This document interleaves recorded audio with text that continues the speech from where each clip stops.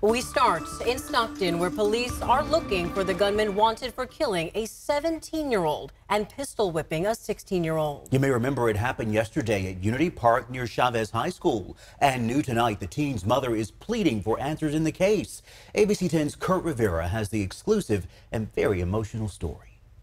Last thing he said to me was, was I love you, Mom, and he stopped texting me. Amanda Mays recounted the last moment she communicated with her son, 17-year-old Thai Khin, less than an hour before he was shot and killed. All that went through my mind was, I hope they have the wrong kid, you know? I hope if he was in that situation that he wasn't the one that was shot. And um, I rushed to the hospital, and by the time I got there, he was already gone. His mother says he was a high school junior, but just a few credits short of already graduating. He played basketball and baseball and was learning to be a barber. But above all, she says, he was simply a good person. He loved his family, he loved school, he loved helping other people. You know, he went out of his way to do for others before he did for himself.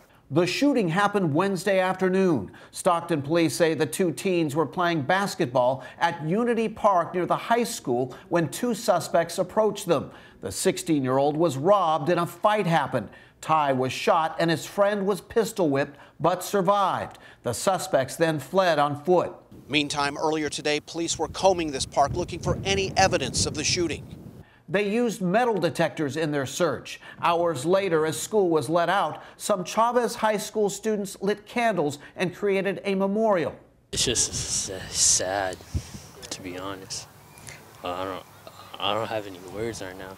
And either did Thai's girlfriend and sister, who sat devastated next to Thai's mother, who did have something to say for those responsible for killing her son. Somebody knows something, and that this can be resolved and and justice could be made.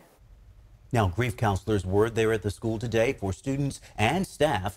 Meanwhile, police have increased patrols around that neighborhood. The family also has a GoFundMe page to try and help with funeral expenses. We have that link on our website, abc10.com.